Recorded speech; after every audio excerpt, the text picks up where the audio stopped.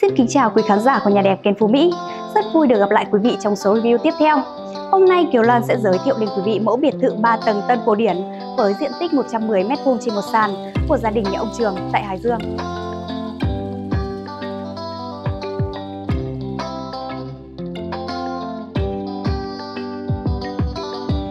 Công trình này là sự kết hợp hoàn hảo giữa nét đẹp truyền thống và hiện đại, mang đến không gian sống rộng rãi và sang trọng cho gia đình. Được xây dựng trên diện tích đất 206 m2, ngôi nhà có mặt tiền rộng 9,2 m và chiều sâu là 11 m. Phần còn lại được dành cho không gian sân vườn, tạo sự thoải mái trong sinh hoạt hàng ngày. Biệt thự 3 tầng mái Thái này không quá cầu kỳ nhưng vẫn toát lên được vẻ đẹp sang trọng. Hệ trụ cột vuông ở tầng 1 được trang trí phào chỉ rất tinh tế, kết hợp với các trụ tròn từ tầng 2 đến tầng 3 ở cả sảnh chính và sảnh phụ, tạo nên điểm nhấn ấn tượng cho ngoại thất căn nhà.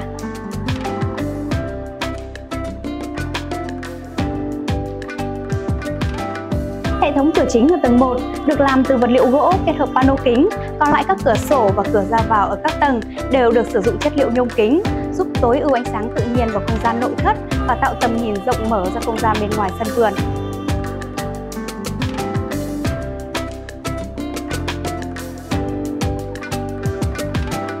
Để ngôi biệt thự không trở nên nhạt nhòa, kiến trúc sư đã chọn gam màu trắng làm gam màu chủ đạo. Nổi bật trên nền trắng là hệ lan can nhôm đúc sang trọng, tạo nên tổng thể hài hòa và bắt mắt cho toàn bộ công trình.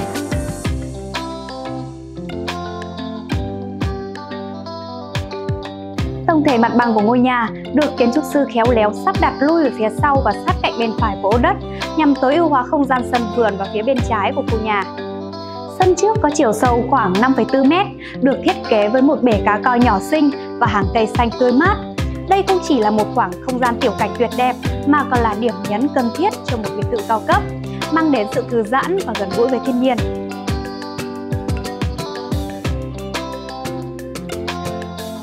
Với kích thước mặt tiền là 9,2m và chiều sâu là 11m, ngôi nhà được bố trí công năng như sau.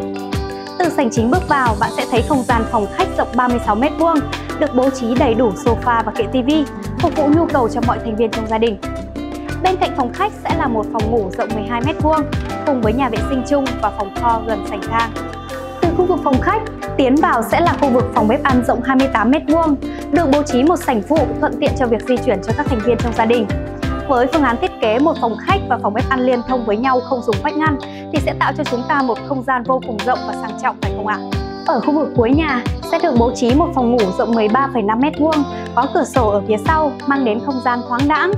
Tầng 2 có một phòng sinh hoạt chung rộng 16 m2, một phòng ngủ khép kín rộng 20 m2, ba phòng ngủ nhỏ và một nhà vệ sinh chung. Tầng 3 được bố trí một phòng thờ rộng 11,5 m2, một phòng ngủ rộng 13,5 m2, một phòng tập thể dục 20 m2, một nhà vệ sinh chung và sân trồng rau.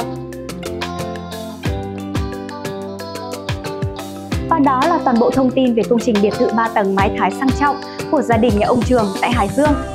Nếu quý vị muốn khám phá thêm nhiều mẫu công trình khác, hãy truy cập website kiệt phú mỹ.vn hoặc theo dõi kênh youtube Nhà đẹp Kiệt Phú Mỹ. Bạn cũng có thể liên hệ qua hotline Zalo 0981 111 838 để được tư vấn miễn phí nhé. Cuối cùng, Nhà đẹp Kiến Phú Mỹ xin kính chúc quý vị sức khỏe và thành công. Cảm ơn quý vị đã dành thời gian quan tâm và theo dõi. Xin kính chào và hẹn gặp lại.